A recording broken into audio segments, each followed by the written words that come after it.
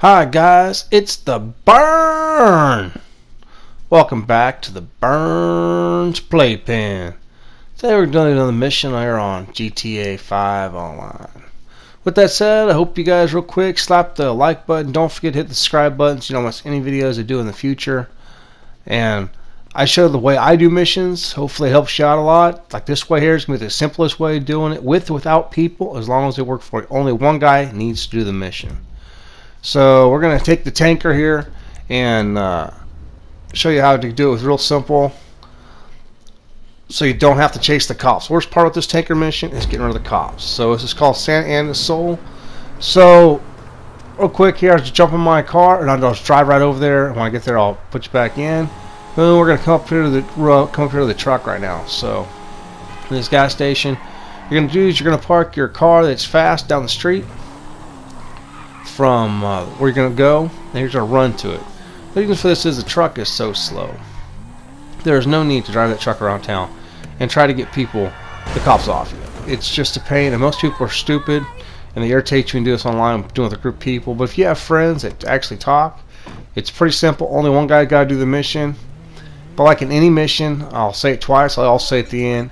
The more time you spend on the mission, the more money you're going to get. So 15 minutes is max on a mission.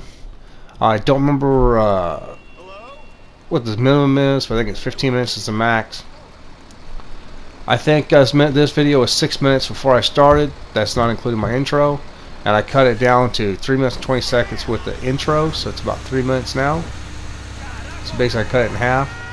So once you get the truck, you want to drive down the street, you parked your, uh, your fast car, whatever it is that you use. Basically, you want to get out of the out of the truck, get back in your fast car. You don't really care if the cops see you or not too terribly much, but if you can avoid them, it's the best. But if you can't, it doesn't really matter because you're in your fast car. Now you just want to lose the cops with your fast car, opposed to losing them with the diesel truck, because it's just a pain. Um, I just go down the street and boom, park it. I lost the cops. I'm gonna go back to the truck. You can see pretty much where I was before I cut the film. I was right, literally right down the street, high between two buildings. Usually it works. Not always, most time. You get back in the truck and you just drive right over to the location. See the cops are out on you, no big deal. Makes it simple. Hope you guys are enjoying the videos. Don't forget to uh, tell your friends about them. And if more of the people hit the like button and subscribe button, gets my videos out to more people. I will really appreciate that.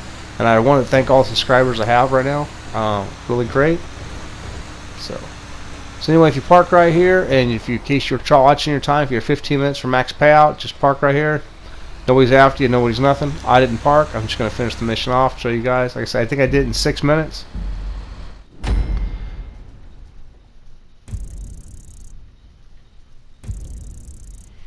I got 11k. It wasn't too bad. This is the burn, and I'm gone.